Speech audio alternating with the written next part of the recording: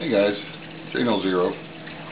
I am going to explore the uh, the news story that I saw on the internet yesterday about antibacterials and uh, antiseptic and hand sanitizing soaps and stuff uh, being linked to and causing, uh, you know, just much like the soap in this container right here, uh, causing uncontrollable muscle spasms to where you know your your muscles are are acting on their own because of the ingredients that they have been using in the soap. To me, that just seems like it's very much ludicrous, and that that would never you know it could ever ever ever happen. And uh, whoa, oh, oh, oh, it's this is I don't know that might. Uh, ah, ah.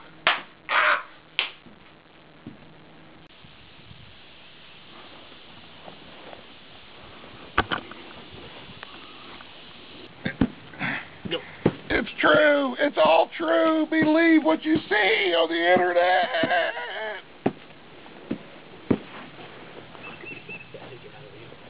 Buzz Buzz, the end.